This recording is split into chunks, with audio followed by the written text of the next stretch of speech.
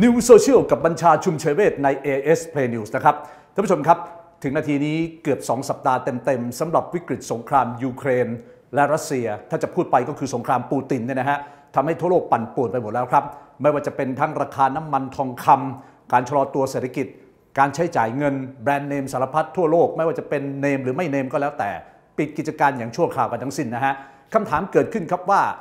2565 จากเดิมที ที่หลายสำนักคาดว่าปีนี้จะเป็นปีที่ฟื้นตัวจากโรคโควิด -19 ไม่ใช่ซะแล้วล่ะครับ เป็นเพราะว่าที่สุดรัสเซียตัดสินใจเข้าไปโจมตีแล้วก็รุกรานยูเครน ถึงนาทีนี้ท่าทีของปูตินไม่มีการอ่อนผ่อนปลนเลยนะฮะและหลายสำนักออกมาเปิดแล้วครับไม่ว่าจะเป็นกองทุนการเงินระหว่างประเทศ บอกว่าผลกระทบทางเศรษฐกิจโลกรุนแรง และจะจับตามอง ขณะเดียวกันธนาคาร JP Morgan ออกมาเปิดแล้วครับว่าเศรษฐกิจโลกจะเสียหายเท่าไหร่เหลือเชื่อนะครับเศรษฐกิจโลกใบนี้เนี่ยนะฮะ 94 ล้านล้านดอลลาร์สหรัฐจาก 190 ประเทศ เขาตัด GDP ปีนี้ลงเป็นเจ้าแรกเลยนะฮะ 1%ก็หมายความว่าประมาณ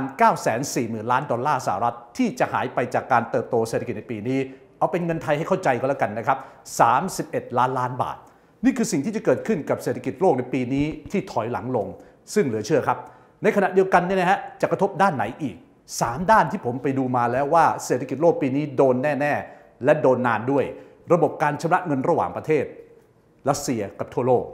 2. ราคาสินค้าโภคภัณฑ์ที่ใกล้ตัวคนไทยก็คือน้ำมันทองคำและสุดท้ายก็คือห่วงโซ่การผลิตที่เชื่อมโยงกันทั่วโลกครับ เอาข้อแรกกันก่อน ระบบการชำระเงินระหว่างประเทศ รัสเซียถูกตัดออกจากระบบส่งข้อมูลการทำธุรกรรมชำระเงินระหว่างประเทศ เพราะฉะนั้นแล้วนั่นหมายความว่าด้วยมูลค่าของเงินสำรองระหว่างประเทศของรัสเซียที่อยู่แบงก์ชาติรัสเซียนี่นะครับ ครึ่งหนึ่งก็คือประมาณ 3 2 0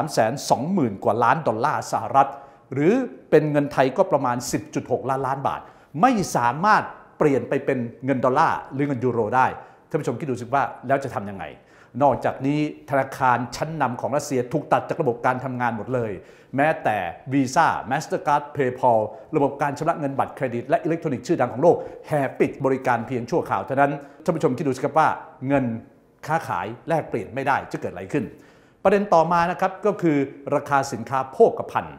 ราคาน้ำมันดิบท่านผู้ชมครับสุดเหลือเชื่อเลยนะฮะถึงนาทีนี้เชื่อว่าไปต่อ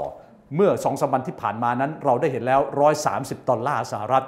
และในที่สุดธนาคาร JP Morgan ก็มองอีกเหมือนกัน สิ้นปีนี้จะเห็น 185 ดอลลาร์สหรัฐต่อบาร์เรลสถิติเดิมเกิดขึ้นมาปี 2008 147 ดอลลาร์สหรัฐต่อบาร์เรลครับทองคำเราตกใจกันทั่วประเทศสำหรับคนไทยแล้วนะฮะ30,000 กว่าบาท พยายามหาดีลูกคิดว่ามันแพงที่สุดในรอบ 10 ปี หรือเป็นประวัติการณ์กันแน่ แต่มันก็เกิดขึ้นแล้ว เพราะว่าเมื่อวันก่อนขึ้นไปเฉียด2,000 ดอลลาร์สหรัฐนั้นสิ่งตรงนี้เองทำให้ต้นทุนการใช้ชีวิตต้นทุนการลงทุนเพิ่มสูงหมดเลย ข้อที่ 3 ห่วงโซ่การผลิตครับ การปิดน่านฟ้า การปิดพรมแดน ในที่สุดก็ส่งผลให้กับรัสเซียนั้น รวมถึงทั่วโลกไม่สามารถค้าขายในการส่งสินค้ากันได้ ไม่ว่าจะเป็นการส่งสินค้าทางอากาศ เนื่องจากว่าต่างคน ต่างก็ตัดสินใจตอบโต้ปิดน่านฟ้าซึ่งกันและกัน รัสเซียนั้นปิด 36 ประเทศน่านฟ้าเลยนะครับ ในขณะเดียวกันทางเรือ ปรากฏว่ายูเครนประกาศปิดท่าเรือพาณิชย์ที่ใหญ่ของยูเครน ตรงบริเวณทะเลดำสินค้าก็ออกมายาก ดังนั้นทั้งหมดนี้คือผลกระทบที่จะเกิดขึ้นในปีเสือสงครามปูตินนั่นเองครับ